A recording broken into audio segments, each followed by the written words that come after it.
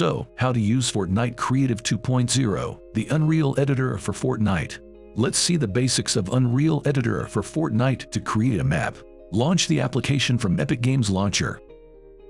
Choose an island template and save the project.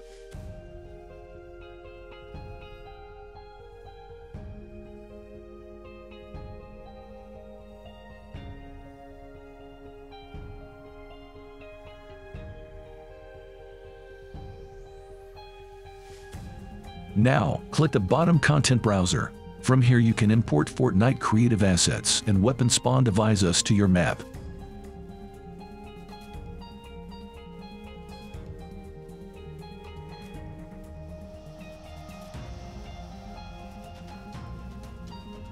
Drag and place it on the map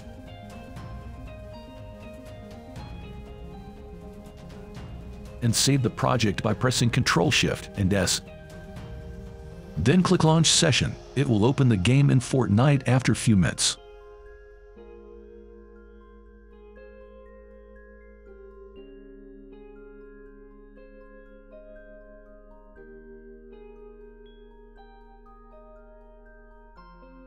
That's it. Now, you can play the creative island that you created on Fortnite Unreal Editor.